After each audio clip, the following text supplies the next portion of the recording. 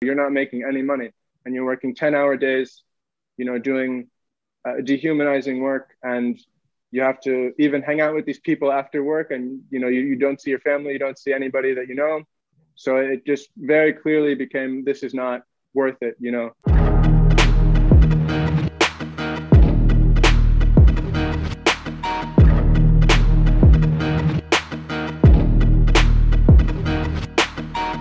amani you worked for a credico subsidiary out of uh, times square in new right. york city and your situation is a little bit unique, but we'll get into that here in a minute. Um, but the impression that I got when you messaged us initially was that you wanted to name names like you had no problem identifying what companies you were you either worked at or knew about and also uh, naming specific people right. and you gave us an address uh, which upon further research i have found many people are aware that yeah, this is going yeah, on this yeah. address. 690, 690 8th Avenue in Times Square, New York City. So, can you tell us a little bit about what you know um, that goes on there and provide whatever information you'd like? Yeah. So, I mean, from from my research now, you know, after the fact, I've, I've kind of figured out that there's a lot of these companies, a lot of the Credico companies that are operating all out of the same office. You know, they're I think the building, when I looked it up, is owned by Raf Diaz, who is kind of infamous in this whole Credico thing. And you know, I worked for one particular um, company called uh, it's, it's Your Wheelhouse, but there were you know at least five or six other you know replicant type of companies doing different campaigns and um, you know going out into the field and selling different kinds of products, but they were all uh, housed in this one building. And you know maybe you know, looking back on it now, should have been a little bit more skeptical because uh, if you've been to New York, you know that uh, anything that is going on in the heart of Times Square, you know, maybe it's not always the the, the most ethical business or the the healthiest thing to get involved with.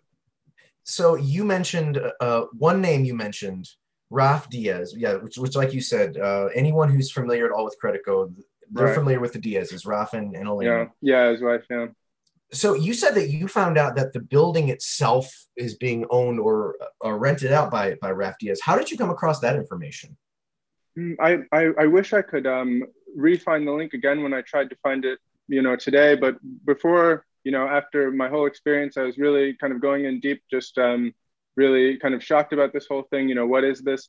And I was able to to find like um, a registry website basically for buildings in New York, and I saw that uh, his name was on it, and um, the the parent company. You know how these like the little companies have like a parent company, and the one for mine was called Market Value Incorporated. And then I also saw that he was uh, the head of that as well. Okay, yeah. For anyone who wants to do research, uh, the, the trail is is is very clear. Yeah. And uh, while I was doing research, I did look up Market Value Incorporated, and yeah, like you said, you can find Raf Diaz's photo on that website as far and as well as the uh, the company which you worked for which yeah. you said was it's your wheelhouse if you do a little bit of research two years ago there was a reddit post it was it's titled nyc job seekers beware pyramid scheme at 698th Avenue, which is exactly where we're talking about here. And some of the names that it mentions Allure Marketing Group, WG, WUG Marketing, which you also mentioned. Uh, yeah, I think that message. was the. I think that was the company. You know how they change their names all the time. I think that yeah. was the one before it's your wheelhouse because um, a lot of the same people who, who I worked with, you know, were were working with them before. Sure, and I, that wouldn't surprise me at all. Yeah.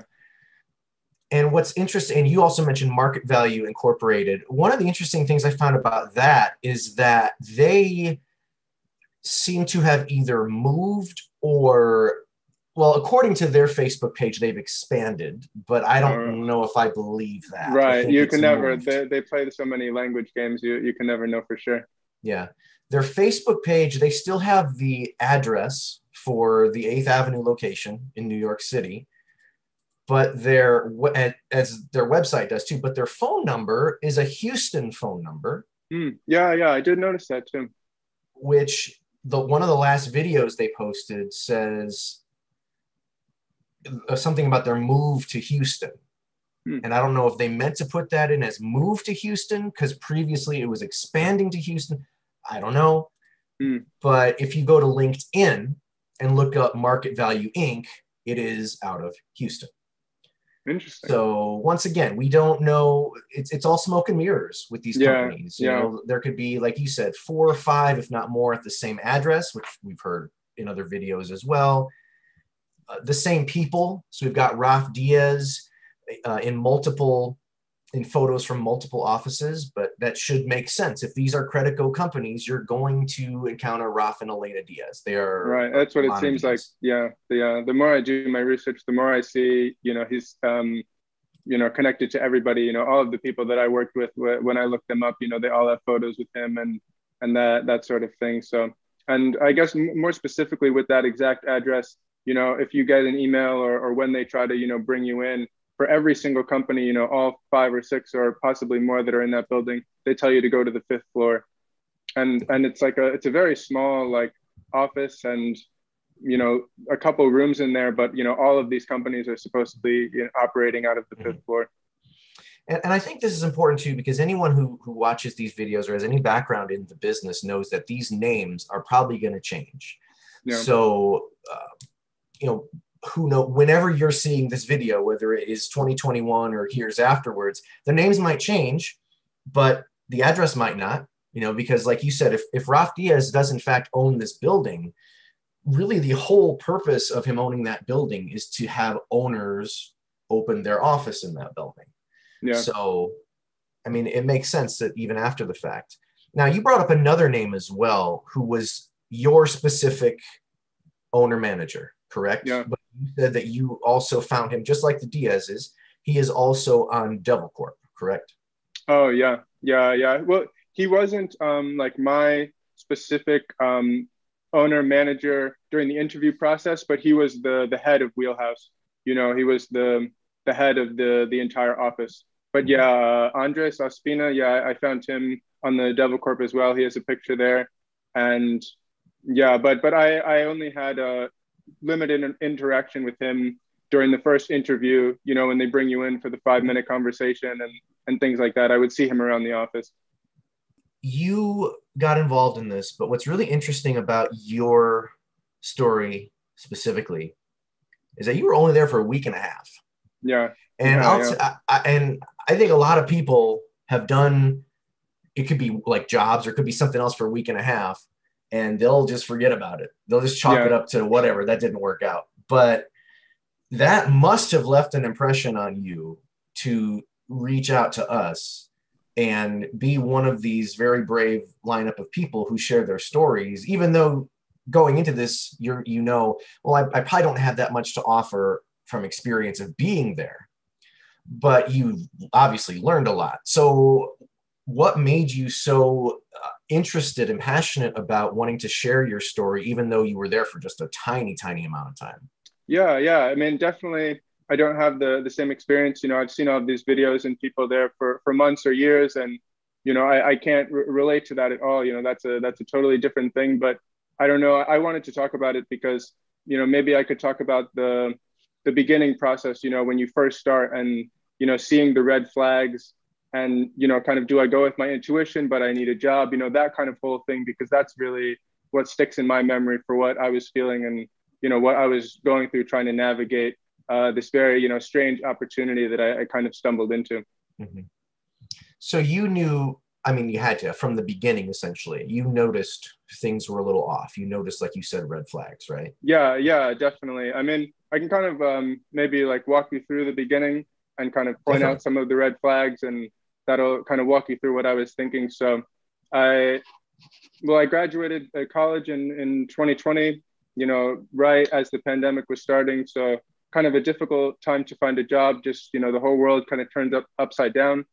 And, but thankfully I was able to, you know, find a, a tutoring job. So I'd go over to this family and like tutor their uh, elementary school kid on his Zoom classes. But, you know, eventually the, the schools reopened in New York so it was like very fast that ended and you know i need to need to pay my rent you know need a job that kind of thing so I started applying to a bunch of different jobs and you know of course i hear back from from this one and the the job title was like entry level marketing rep or something like that. And I don't have uh, experience in marketing. You know, I didn't go to, to school for marketing or anything like that.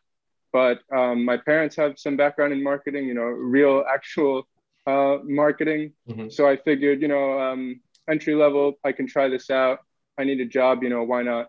So I applied, and you know, I think a day later, I got an email saying, you know, you should come in for an interview. So I go in and, you know, go up to the fifth floor in Times Square. And I was already just a little bit, um, you know, unsure about this whole thing because on the website, they're very vague, you know, like how all of these companies, if you look up their website and you try to read their about section, you know, you, are not really going to get at what they actually do. They, they have a lot of phrases and you know things like that but they don't they don't talk specifically about what they do. And you know there were even some typos or you know incorrect grammar in the biographies of the people. So it just seemed very a little bit unprofessional to me. And so i go in but i needed a job. So i was going to try to kind of sell myself to them you know as they were doing the same thing to me. And i see on the wall for for andres who was the manager he had like uh, some soccer pictures and i played soccer you know i follow soccer so i figured okay, I'll try to relate with him about this. You know, you know how they they teach you to do like the four F's, you know, family, you know, what you care about, those kind of things. So I figured I'll try to do that in this situation and, you know, see where it can take me. So we had the interview, you know, nothing really about the job, you know, just about me and my interests. And we talked about soccer and he invited me back for a second interview.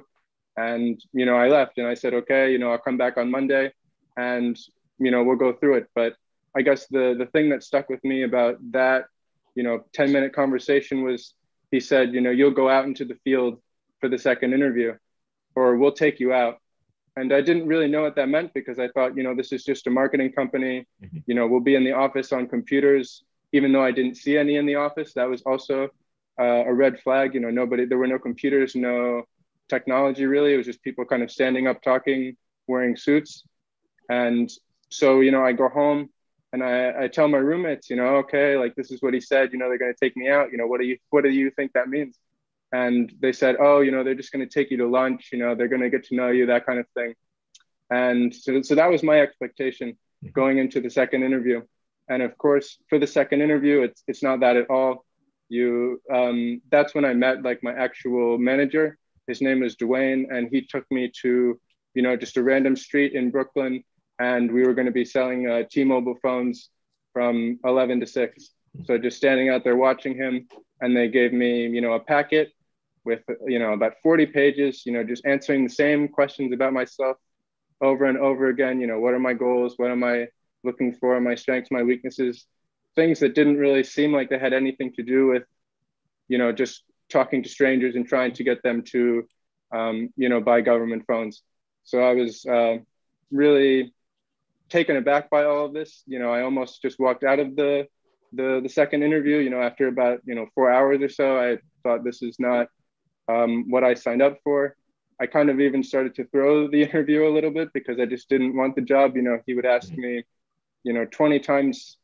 He would ask me over and over, you know, why why should we choose you? Why are you a good candidate?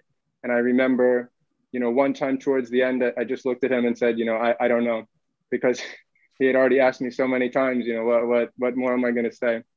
And so we go back to the office after that, and I meet um, AJ, who was his partner, who was, I believe, the head of uh, WG marketing, because you know on their Instagram, it seems like he was kind of the, you know, the the head owner of that that company, and you know this was another red flag because he said, you know, you told Dwayne that, you know, you're tutoring it's not over yet. You know, you need a little bit more time before you can come work for us.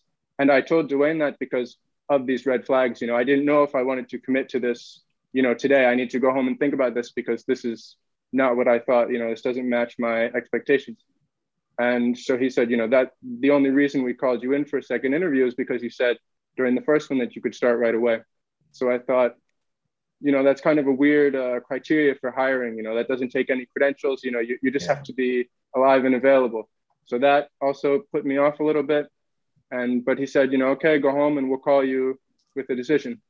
And so I go home and I'm thinking the whole train ride home, you know, I, I hope I don't get this, you know, I really need a job, but you know, maybe with a little bit more time, I can find something, you know, just a little bit better. But they, they do call me and they said, you know, um, this was kind of, you know, smart how they sold this, but they said, you know, we don't really think that, you know, you don't have an experience in marketing. You know, we don't think you'd be a good fit, but Dwayne really wants you. You know, Dwayne really fought for you. And I mean, I see that now they did this, you know, so that I would be loyal to Dwayne, who was my interviewer and my manager. Yeah. And, you know, they they said, um, you know, it's between you and a marketing student from Columbia. You know, why should we pick you? And I mean, of course, you know, that's completely not true. Yeah. Um, that, you know, of, of course, that's not true. But again, I just said, you know, I, I don't know. I don't, I, I don't have any experience in this, but uh, I tried to kind of work the whole student mentality thing mm-hmm. that they really push. You know, I tried to just say, okay, I, you know, I, I don't know anything, but I'm willing to learn.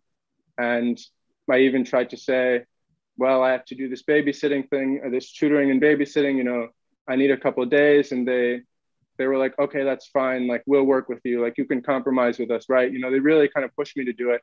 So in the end, I just said, okay, I'll, I'll try it out, and that's that's kind of you know where it started from. But the whole hmm. you know interview process and things, um, it never really felt right with me, and you know that's even kind of why I had to say, you know, I I I have to take a couple days because I didn't want to commit just then because it, didn't feel right really at all. Yeah. They definitely fear of loss the hell out of you. It sounds like. Um, yeah. You know yeah. that that's the common. That's one of those uh, Fuji impulse factors. Fear of loss is. Yeah. Uh, you know they're they're dangling it in front of you. You applied for this. That must mean you need a job.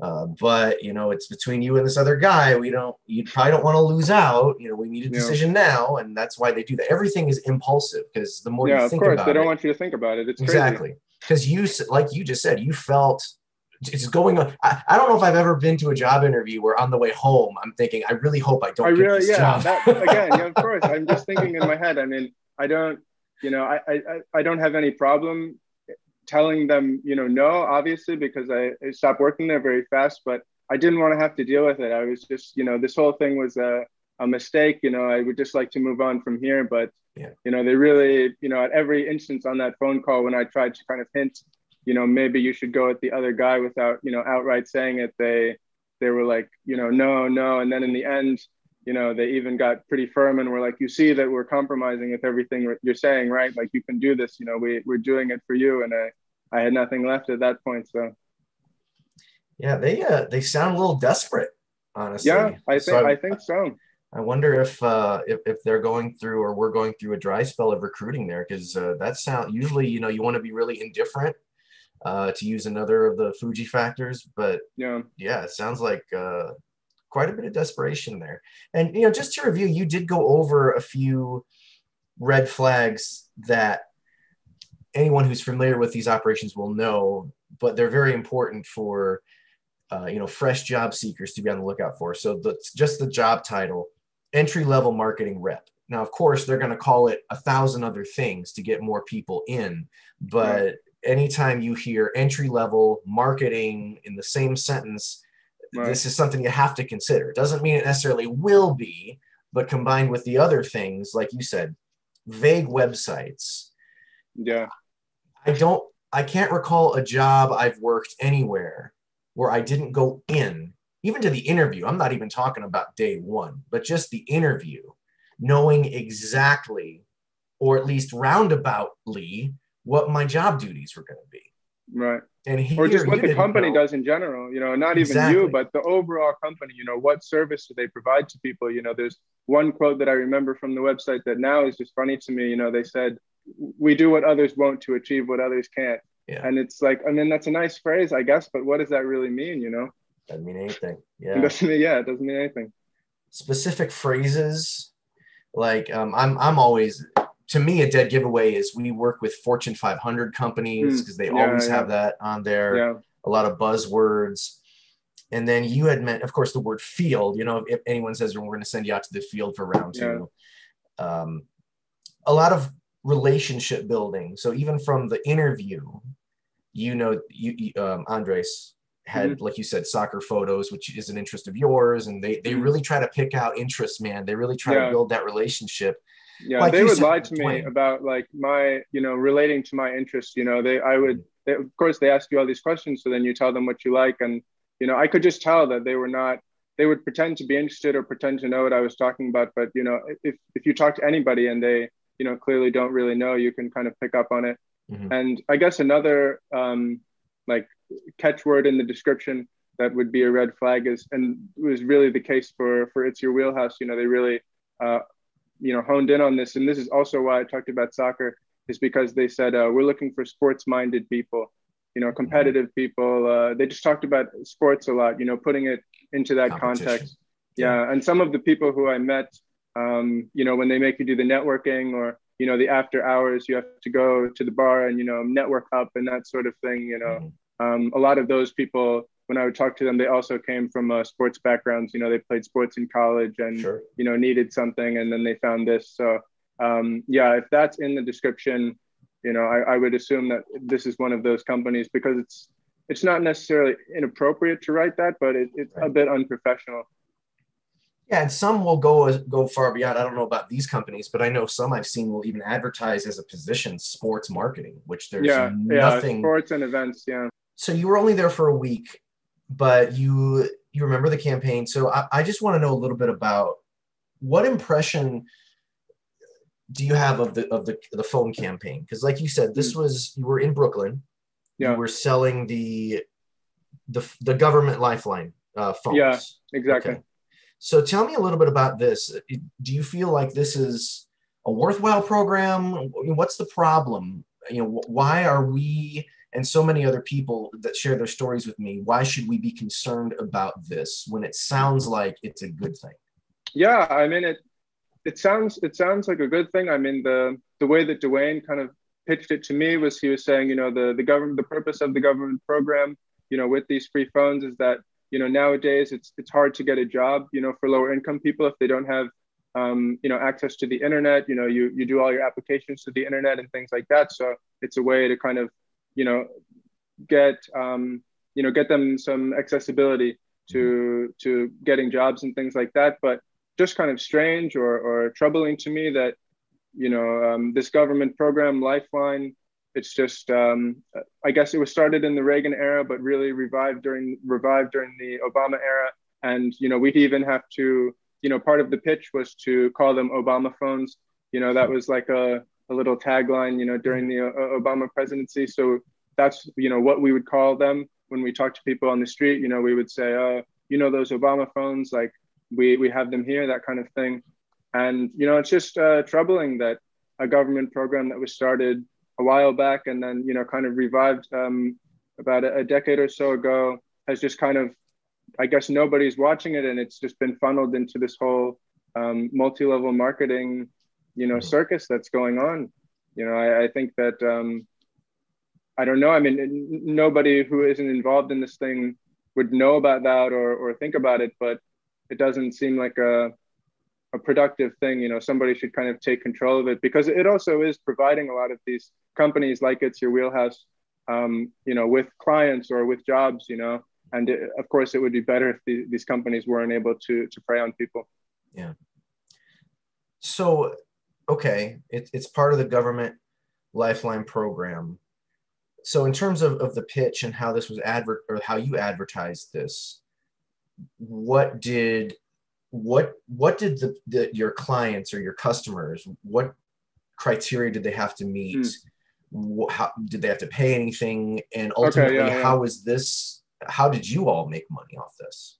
Yeah, so I mean the the thing is that for for the customers, it's actually not really a bad deal. So you have to qualify for some government assistance programs. So food stamps or Section 8 housing or Medicaid or, you know, any any kind of um, government issued, you know, subsidiary funding that you receive, you can qualify. And you pay $55 and you get the phone and it has, you know, a good amount of gigabytes and there's no monthly bills. So, you know, you pay $50 for an Android T-Mobile phone and you have no monthly bills and you know you get to use it for a long time it's unlimited texting you know that that's a pretty good deal you know I, those people they don't they weren't necessarily getting ripped off so i mm-hmm. didn't have a problem you know selling it to them in that sense but it's just more the tactics and the mm-hmm. way that you have to lie to them. You know, you, you're not supposed to tell them that they have to pay the $55 until the very end. You know, that's the last thing that you say. You know, you make them go through the whole registration process. You have to pretend to be their friend for, you know, 10 minutes while they're standing there and they think they're getting a free phone, you know. And so many times, you know, you say it at the end and they give you like a look of, you know, I can't believe that you just wasted my time like this. You know, you have to start out with this. You know, sometimes people would even say, you know, it's it's wrong that, that you didn't tell me this in the beginning. So, but but what they're actually getting, you know, isn't a faulty product or anything. You know, it's a it's a good phone for a low price, but just the tactics that um, Wheelhouse kind of made you employed to get these people to come over and you know spend their money when maybe they don't even need it. Maybe they already have a phone but they do qualify so you have to pressure them. You know those are you know that that's just wrong. Yeah. So it's sleazy. It's sleazy sales yeah tactics. yeah it's yeah it's been incredibly sleazy. One of your main suspicions that you talked about were uh, tax forms. Yeah. And so was so number one can you tell us a little bit more about that what you discovered.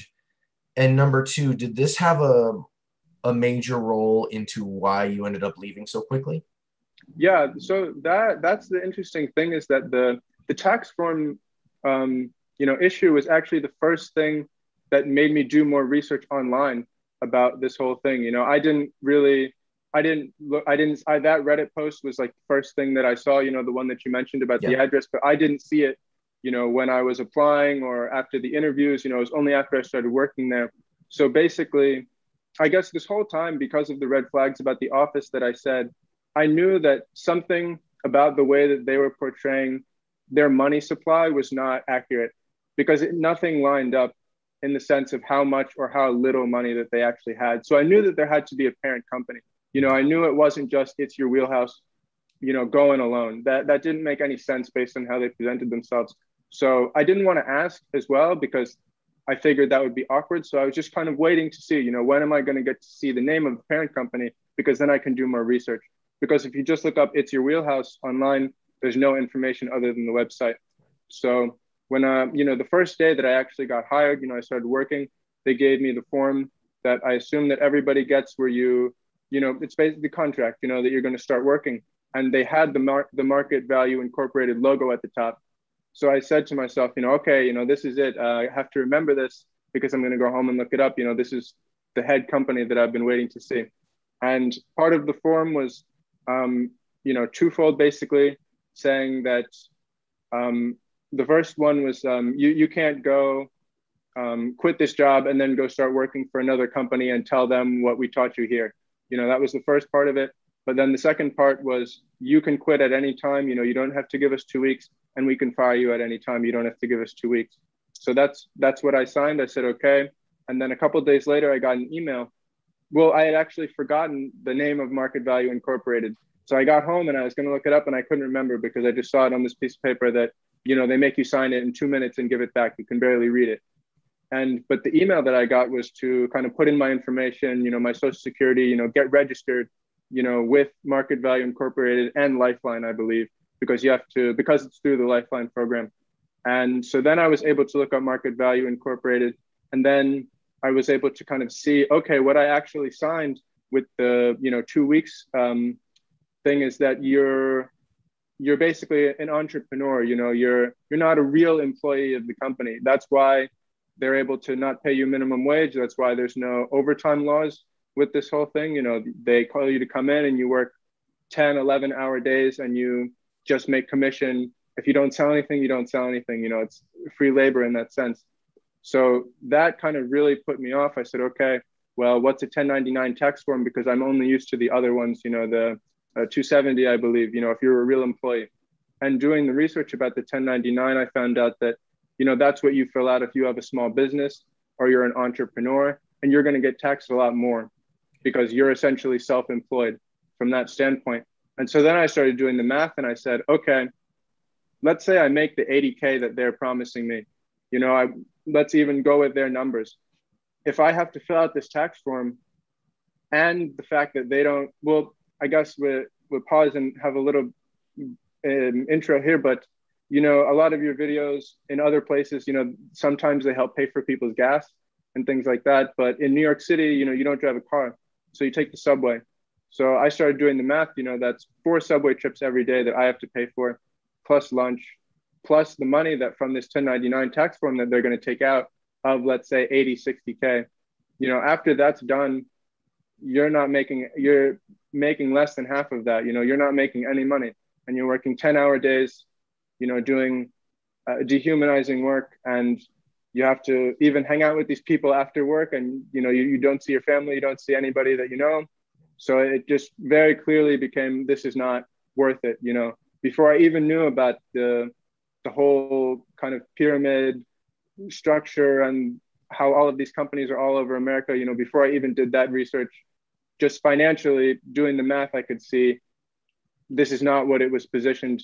And it all kind of started with the the tax form and the fact that they you know you're not a, you're not technically or legally uh, a real employee by this company so they don't have they don't have to give you any benefits and you don't have any uh, protections.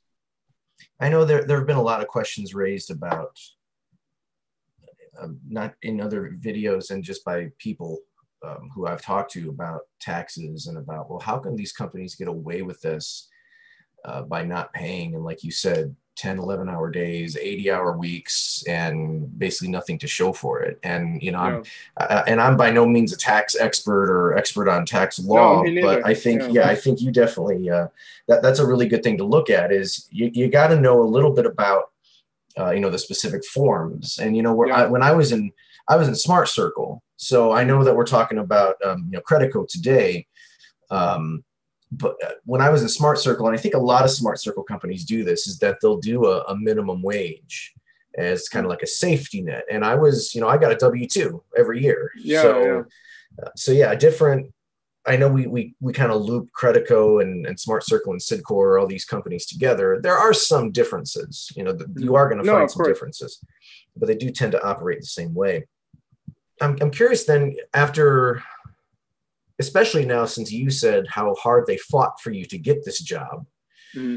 What was the whole process of you just quitting after a week and a half? Did you just not come back? Did you tell anybody? Did they try to keep you? What was that like? Yeah, I mean, so it was in the it was in the morning, you know, when I got that email and I got the, you know, kind of started doing the math, the tax thing, and then that was the first thing where I was like, you know, well, this isn't worth it then. You know, I make thirty thousand dollars a year to to give away my life. I mean, the, this isn't mm-hmm. going anywhere. I don't want to own my own business or anything like that. You know, that um, didn't motivate me. You know, I don't want to be an owner of a, a Lifeline subsidiary.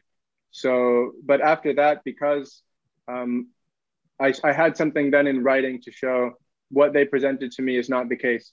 So then, once you have something like that, you know, you have math that you can't deny I think it becomes easier to kind of say, okay, well, I need to find out what else is in writing that they can't get around, or what else is, you know, actually true that uh, based on other people's experiences. So that morning, you know, after I figured that out, I just started doing a lot of research. That's when I found that Reddit post that we talked about. That's when I found your documentary and watched, you know, your documentary. And I, I think I wasn't really surprised because, like I said, you know, this whole time there's little red flags that are popping up, things that don't make sense, but none of it fit together. But then when it fit together, you know, watching your your Smart Circle documentary, like I, I wasn't surprised, but I was really shocked. You know, it really just took me back, just really stunted me. I was like, wow, you know, I really stepped in this whole underworld of, you know, just really sleazy, slimy stuff.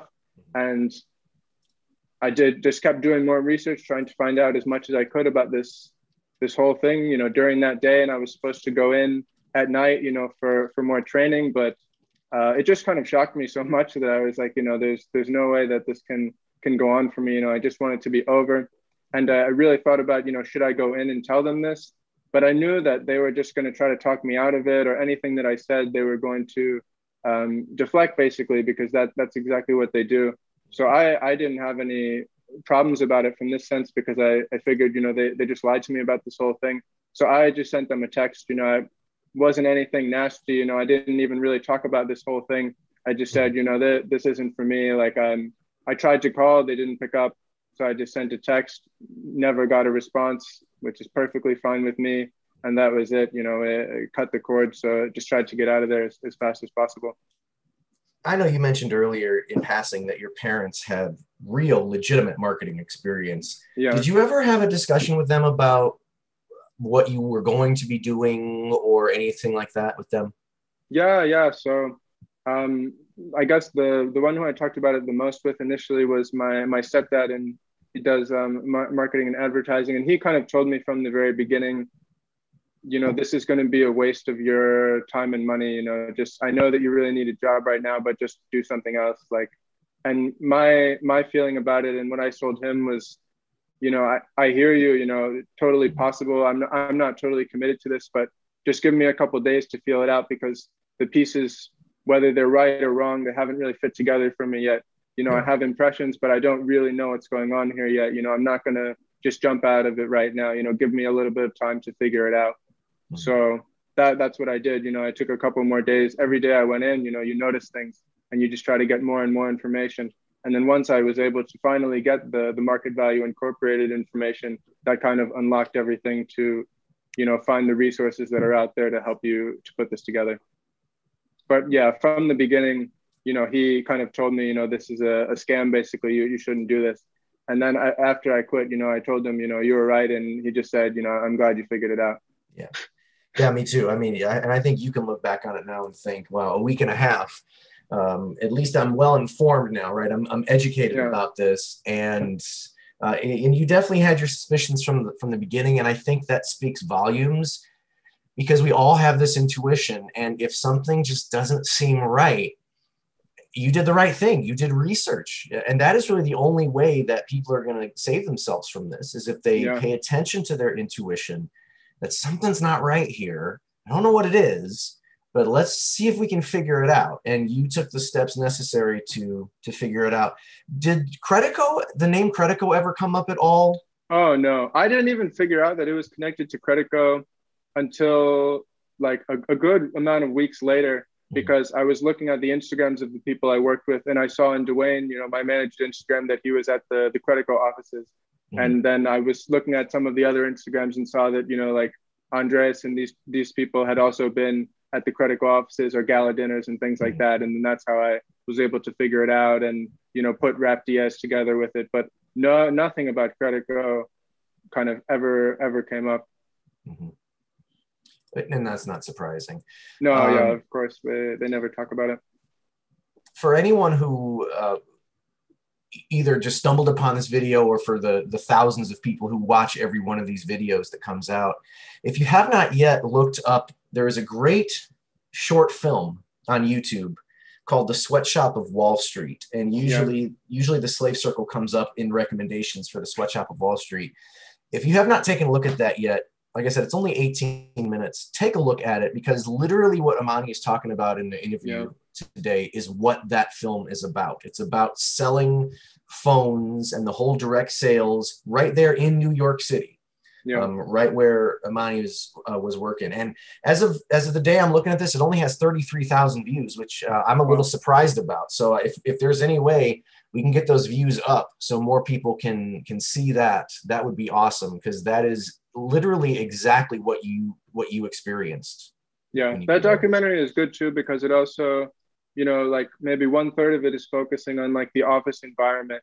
Mm-hmm. You know, in that documentary, it was definitely more extreme than anything I saw, but just yeah. the whole kind of juice culture and you know you have to spend all your time here and after hours we're going to go and hang out and everything like that i mean that was really a red flag to me or just something that i didn't want because you know i have no problem being friendly with my coworkers and things like that. But at the same time, you know, I have a life outside of work. I have interests outside of work that, you know, I, I wasn't willing to sacrifice to, you know, commit my whole life to being a member of this team that just sells phones. Sure. You know, that that that didn't sound very appealing to me. So, you know, even from the beginning as well, you know, that was something that I thought, you know, the, this could be a problem because they, they kept asking me to come to these things that were, you know, extra or at night or after work, you know, after you've already spent 10 hours you know, standing in the field and it didn't seem necessary for what we were doing. You know, it seemed very extra, you know, it's just all of those kind of things are, you know, also maybe things to look out for because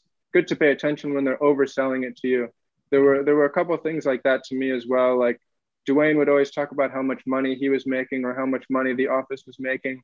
And he would do it over and over. And I really remember there was one time in particular where he just said, you know, something like, yeah, like we're, we're just making stupid money. And it was just the way he said it. And I, I thought to myself, you know, you're overdoing it now. You know, I hear you. Okay, you're making money. Okay, you know, this is before I knew any of the real information, but just in his tone and the way he kept doing it, you're just overselling it. You know, if if somebody keeps talking about how much money they're making after they've already told you and all these things, you know, it's it's probably not the truth because they don't have to keep reiterating reiterating it to you. They don't have to keep, you know, trying to get you to believe something that you know should just be, should just, you know, you should naturally understand or tell from how they carry themselves, you know, this person is successful. Like we were talking about with, you know, in, information versus intuition, mm-hmm. because, you know, for me personally, and for, you know, I've seen your videos, the people that come on your, your videos and really anyone who has to get involved in this because it's not really, nobody grows up wanting to do this. It's not a totally desirable thing. So I understand, you know, for me personally as well, that there's some kind of desperation when you get into these situations. You know, you need a job, you need money. They're kind of promising you that if you stay on this path and you work, there will be something at the end for you, or you know, you'll you'll have success this way. And it can be kind of seems like okay, I'll take this risk even though I'm unsure. But I don't know. The thing that really kind of cuts through that or can help bring clarity is the information. So I would just recommend, you know, even if you you just started working there, you've worked there for a long time, and you don't even let's say you don't even dislike it. You know, you like the people you work with you are making a little bit of money or something, you should still just seek out the information because that will kind of tell you what the deal is and it will allow you to kind of see it for yourself. You don't have to rely on, you know, people at the office telling you things over and over again. You know, you'll, you'll get the, the, the proper information.